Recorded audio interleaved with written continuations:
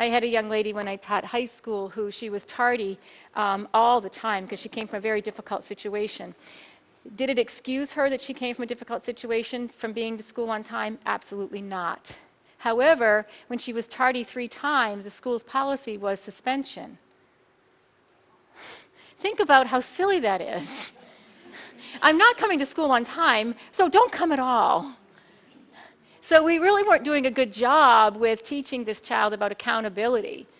Teaching her accountability was saying to her, This is the cumulative minutes that you have been tardy for this week. These are the cumulative minutes that you owe back to your teachers. What is going to be your plan? I'm going to give you some ideas, and I want you to come to me tomorrow and tell me what your plan is going to be and how you're going to get that to your teachers.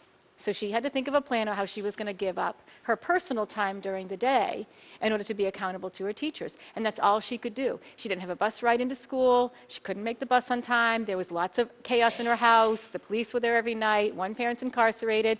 Still didn't excuse her ability to get to school on time. And after a while, she learned you know, through that process where she said, you know, I'm thinking I could apply this to how to actually get to school on time. And I was like, oh, you know, it was like that aha moment which says, now I'm going to do something at home that's going to help me get to school on time. But that was a process to help her through that. We could have just kicked her out and suspended her every time she was tardy for three days. That didn't do any good. Thanks for watching, and I hope you found this video helpful. If you did, make sure to like and subscribe so you never miss another video.